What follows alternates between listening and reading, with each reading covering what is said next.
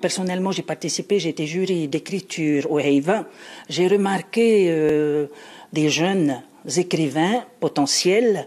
Donc, euh, c'est peut-être un moyen aussi de développer un peu plus l'écriture.